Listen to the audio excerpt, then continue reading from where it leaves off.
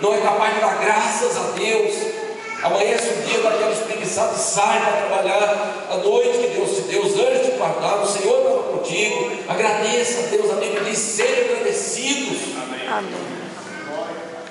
Esse demônio de falência, ruína miséria, pessoas que trabalham, ganham bem, mas tem uma área da vida demonizada, tem um espírito de miséria que condiciona, que aprisiona, a pessoa não prospera no mundo, às vezes até enriquece, irmãos. Eu estava com um amigo de infância meu lá em Minas, ele falou assim: vou te fazer uma pergunta sem constrangimento, porque você é meu amigo há muitos anos. Você é um cara rico? Eu falei, não. Mas em todo esse tempo, sua irmã falou tão bem, eu falei, não, eu não sou rico nunca quero ser. Eu sou próspero. Ele falou, qual é a diferença? O rico ele acumula riqueza, ele acumula bens, tesouros e usa aquilo da sua própria, do seu próprio bem-estar. A prosperidade você administra a fartura que Deus te dá e reparte com o sete, com o oito, abençoa o lado, o da frente, o que traz, semeia, e você multiplica, aquilo nunca acumula, você não é uma represa. Você é um rio que flui no coração de Deus para os homens, que tem humildade. Então a prosperidade é algo que está na nossa genética, que Abraão foi próspero, Isaac que nós vimos aqui foi próspero, Jacó foi próspero, e você é próspero em nome de Jesus. Amém.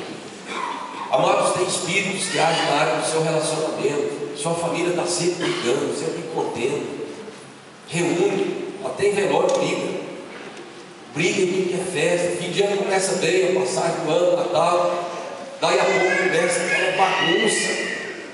E é possível que dentro da sua, do seu vínculo familiar existem inimizades, grilhões que prendeu, que amarrou alguém de lá e você daqui, parente de lá e daqui, e vocês não têm alegria de estar junto porque existe um clima de inimizade, demônios, espírito de inimizade e contenda. A palavra diabo, diabo é aquele que semeia contenda. E toda semeadura dá fruto. E tem gente que tem também na área relacional uma vida sentimental. Parece que a pessoa é invisível. A mulher se produz, vem bonita para a casa de Deus, vai com retiro, encontro, com a escola de líder, escola vencedor, passa o meio dos irmãos, ninguém vê. E 25, 30 anos, meu Deus, irmãos, tem demônios, prende um, espírito de solteirismo que não deixa. A Bíblia diz: não é bom que o homem esteja só. E o diabo vai dar contramão para gerar solidão. A pessoa fica com medo, será que eu não vou casar? Hoje o solteiro vão ser liberto em nome de Jesus. Ah, área espiritual, seu devocional. Você está bem, está bem despertado. Começa a ler a Bíblia, suas pálpebras pesam uma tonelada. Começa a bocejar. Começa a orar, a sua mente. Passageiros com destino ao infinito do nada. E some. Quando você se pega, você nem sabe o que está falando com Deus mais. Um espírito vai, tchum, trancou a sua vida devocional. Vai ler a Bíblia, não entende nada. Dá um sono pesado, de repente em cima da Bíblia. São espíritos, irmãos, que não quer deixar você ter a revelação da palavra. A palavra de Deus é o martelo que Deus sabeia. A palavra de Deus é lâmpada para os seus pés e luz para o seu caminho. A palavra de Deus é consolo, é conforto, é vida, é pão, é unção, é graça, é alegria. E para roubar a sua alegria, o gozo da palavra no seu coração. Gente que não não consigo memorizar um versículo da Bíblia, porque está com a mente blindada, bloqueada. São espíritos. São demônios que interagem na, na cultura, sei lá, no íntimo. São amnésias. Pessoas que acabaram. Eu estava no encontro uma vez na Porto Seguro. Me deitei. Comecei a dormir, eu um pastor. Deitou, percebi que eu estava já cobrindo com o sol, com o sol para dois. Duas horas da manhã sentou na cama, falou, pastor de Deus, o que foi? Eu estou vergonhoso. Mas como é que eu vou saber se não Por isso é ideia. Aí ele falou, você viu se eu estou vergonha? Eu falei, fica na tua, vai dormir, rapaz, deixa em paz. Como é que o cara acorda? Ele esqueceu. Tem gente, irmãos, que vai para a cozinha para pegar um negócio, meu Deus, o que, que eu estou fazendo? Esquece.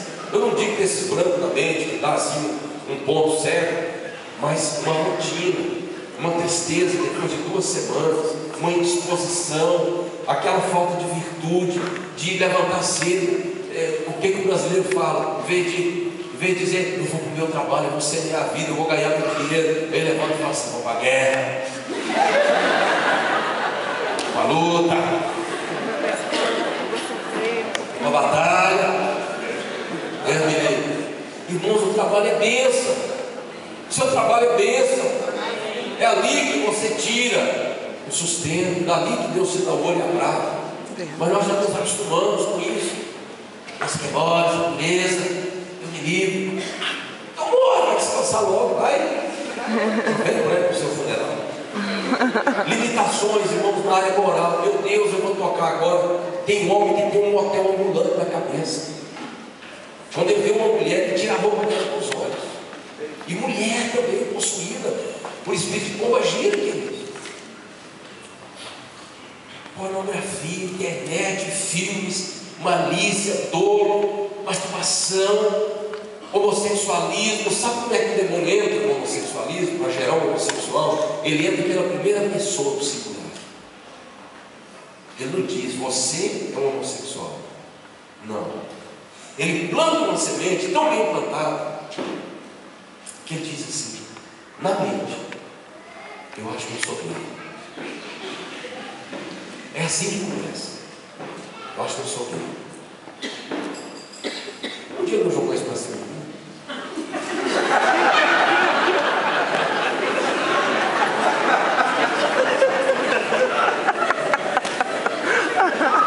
Eu não sei se aquilo vai que cola.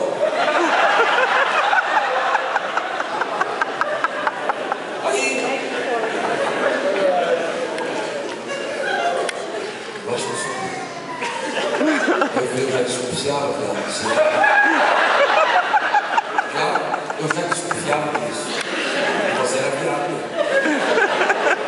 Agora eu tenho certeza. Porque aquela voz não era minha, eu me conheço. Glória a Deus. Depois a pessoa consegue. Ele joga a semente, consegue. A palavra da mente vai no coração. Umas moças femininas, lindas, apaixonadas por mulheres. Porque vê uma semente e diz, eu acho que eu tenho preferência por meninos. Aí ela é, hum, colou. E hoje, aqui em Brasília não, que não tem viado, não tem homossexual, mas, mas por onde eu tenho andado, Deus, eu comecei um trabalho é, chamada, chamado Atos, lá na comunidade. É, assistência terapêutica é, de orientação sexual, Atos. Meu Deus, aí eu fiz um, um chamado. Meu Deus, apareceu tanta gente. Eu falei, meu irmão, até você falou, não, peraí. São sugestões. Eu tenho sido bombardeado. Eu, eu sou homem, sei que eu sou, mas o diabo tem tentado é, confundir minha mente, confundir minha alma. Eu quero uma oração. Moças lindas, femininas, chegaram, pastor, mim, eu não vou fazer a terapia, eu não vou ficar aqui nesse trabalho que o senhor está fazendo, mas pelo menos olha por mim, me libere, eu quero casar com um homem, eu sou mulher, eu quero ser feliz, quero gerar filhos, porque isso, irmãos, em casa, a missão do pai é terrível. Meus filhos, na medida que eles foram crescendo, eu dizia, meu filho, você é um homem, você é macho. Eu, meu filho, está me estranhando. Meu filho, Deus vai preparar uma moça. E você vai casar com uma moça. Irmãos, parece idiotice, parece. Mas hoje os três estão casados, bem casados, são pais de filhos, estão felizes. E a minha filha, minha filhinha, você é menina, você é mocinha. Você vai casar com um homem. Sabe por quê, irmãos? Há uma confusão. Os jovens chegam lá e começam a vestibular, não sabem se é para medicina, se é para engenharia, se é. Meu Deus, eles ficam confusos. Eu já contei uma história aqui, né, das faculdades que eu fiz, vestibular que eu prestei. Eu nunca tive orientação. Mesmo assim, eu fiz três faculdades. Ia fazer a quarta, o tijolo acabou, mas três ficaram prontos. Tem gente, irmão, que carrega isso dentro do coração e não se abre com ninguém. Quando eu disse que é bom ter um pastor, porque o pastor precisa ouvir essas coisas e pôr a mão na sua cabeça e te libertar. Quantas vezes eu fui liberto na minha juventude? masturbação, de pensamento, de coisa na minha cabeça. Eu chegava e dizia, olha, eu estou pensando isso, está passando isso, eu chorava. Eu dizia, eu me sinto imundo, eu me sinto inadequado, eu não posso levantar as mãos e adorar a Deus, porque quando eu pego minha casa e venho para a igreja, eu levanto as mãos, está escrito assim, eu hipócrita, você não tem direito de adorar a Deus. Então precisava ser liberto, precisava confessar, confessar e expor nossas culpas uns aos outros, para que sejais sarados. Quantos sarados nós temos aqui?